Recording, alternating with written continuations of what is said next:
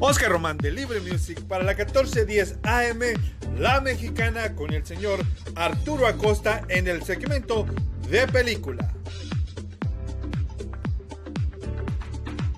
Y en los estrenos de este fin de semana, la compañía Sony nos trae It's a Wonderful Day in the Neighborhood. Un día feliz en el vecindario.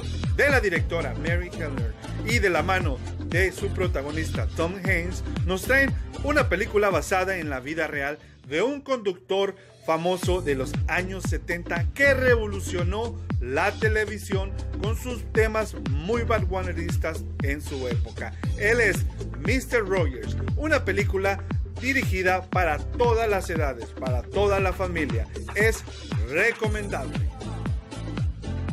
Soy Oscar Román para la 1410 AM, La Mexicana, desde Libre Music. Y no se nos olvide sintonizarnos lunes y viernes de 10 a 9 de la mañana.